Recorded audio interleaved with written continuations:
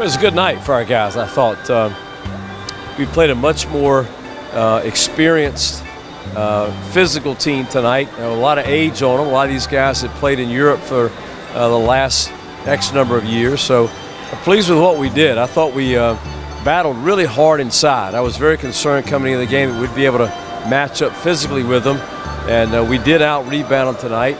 Uh, very, also very pleased with our balance. again, we had a lot of guys in double figures. Um, really shared the ball well. 29 assists, as you pointed out. So a lot of good things. Yeah, we played without Paul Rowley and without Matt Milan, who got hurt last night.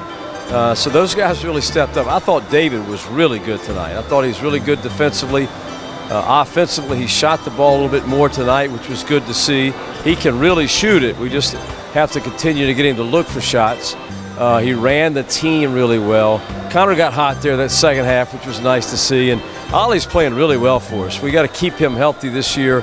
Uh, really, he may play one through five for us this year. He's that versatile, and we'll, we hope to use him in a lot of ways this year.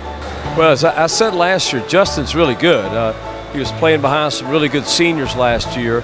Um, was really good tonight. I mean, I think 13 points and 14 rebounds tonight. Got a lot of loose balls for us. Beautiful passing of the ball. Uh, he, he was really good. He really needs to have that kind of season for us to be successful this year. Yeah, Jahar's really scored the ball both nice for us. He can really shoot it. It has unlimited range. Uh, he's got a lot to learn in other phases of the game. A little still confused on what we're trying to do offensively and defensively.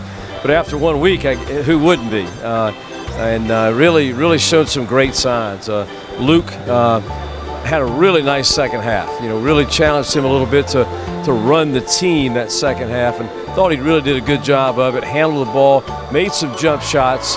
A really nice out, uh, breakout for Luke as well. Yeah, tomorrow should be great. I hope we get a, a good weather day, but you know we're going to go out on a catamaran, do a little bit of snorkeling, and then uh, on the boat go to the uh, waterfalls here, which is supposed to be spectacular. So it'll be a nice day for the guys, and uh, we all look forward to enjoying that.